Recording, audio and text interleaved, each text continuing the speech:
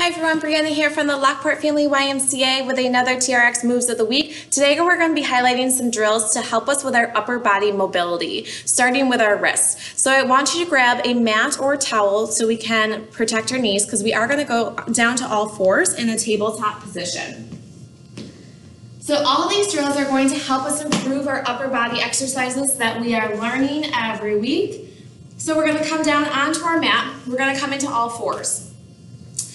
So our wrists are below shoulders, our knees are below hips. Again, the mat or the towel is just to protect our knees. What I want us to do is shift our weight forward into our hands. And I want us to shift over to the left, roll ourselves back, and shift the weight over to the right. And start to form a nice circle, but feel the weight shift all the way around your wrist. Good, I want you to go five in one direction and then five in the opposite direction. So just to warm up the wrists, as you guys have noticed, our wrists play a huge role in a lot of our TRX exercises, especially the upper body. So we want to make sure we have good wrist strength and mobility. Good. Excellent. So walk your hands back to your knees. Again, five in each direction. You can do that as many times a week as you desire. But we're now going to go into some unilateral work with our TRX strap. So we're going to first start with a shoulder press. So we're going to be facing our anchor point. Our straps are all the way up, nice and taut. We're going to come into a split stance. So one foot forward, one foot back. I'm going to slide my hands in the backs of my stirrup. So the palm of my hand is facing my anchor point. So we're going to slide the arm up nice and straight with pressure against our stirrups. Then we're to drop that arm down into a 90 degree angle, shoulder height. So again, as we move up and drop down to shoulder height, I want you to do this five times each side, but keep pressure on the back of that stirrup.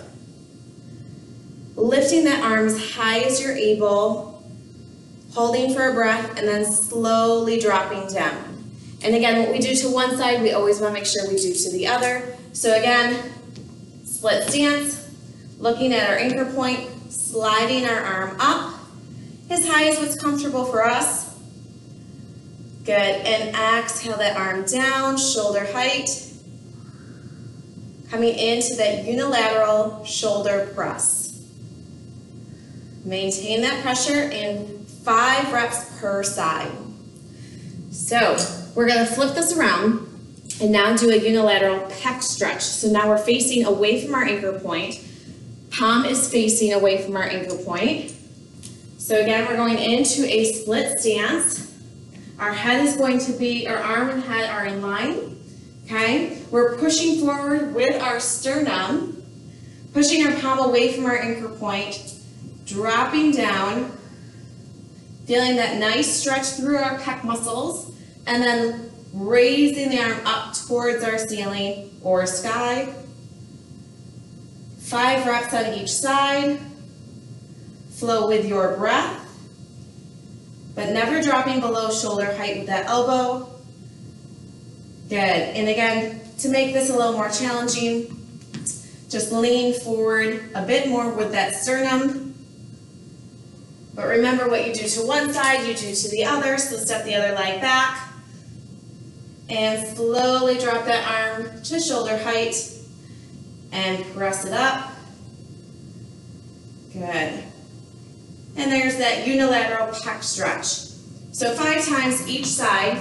Our last drill for our mobility upper body exercises is a single arm power pull. We've done these before, but just to refresh, you're going to drop one of your straps. We're going to face our anchor point. We're going to allow our bodies to come into a full extension, dropping one arm back, looking at those fingertips. Feel that nice mobility here, and row it in for that power pull. Now, feel the extension, feel the strength through that single arm row, and feel free to reach up your TRX strap for a little more mobility through your back scapula. All right, let's try that on the other side.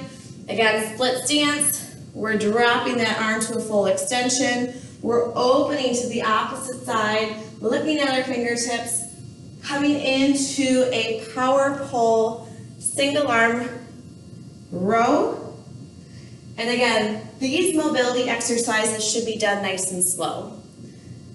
So we got a little bit of strength work here, but a lot of mobility.